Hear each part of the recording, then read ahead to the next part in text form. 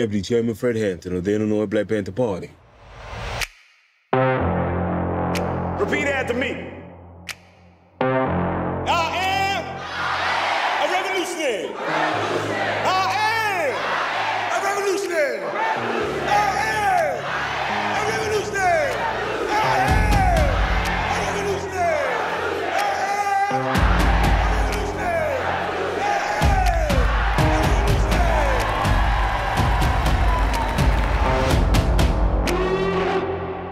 You're looking at 18 months for the stolen car, five years for impersonating a federal officer, or you can go home.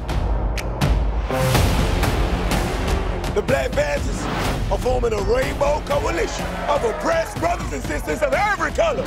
Their aim is to sow hatred and inspire terror. I will learn all that I can. These ain't no terrorists. You can murder a liberator, but you can't murder liberation.